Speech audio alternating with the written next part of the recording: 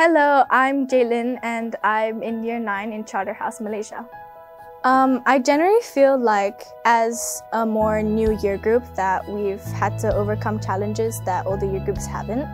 And not only us, but also teachers having to change their learning course to fit our profiles.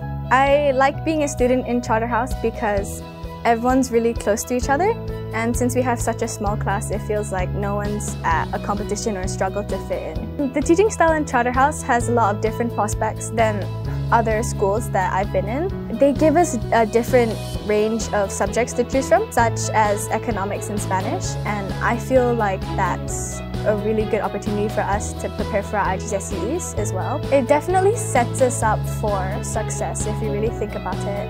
And right now, year nine, they're already focusing on our future pathways and they've made us complete different tests and surveys in nice fun ways as well that make it really interesting to explore the different possible careers you could have and I feel like that's also a really fun part. I'm quite motivated by what the year 13s have done um, despite Charterhouse being a new institution and from that I really hope to use what I have been given to advance my knowledge and get enrolled to a really good university.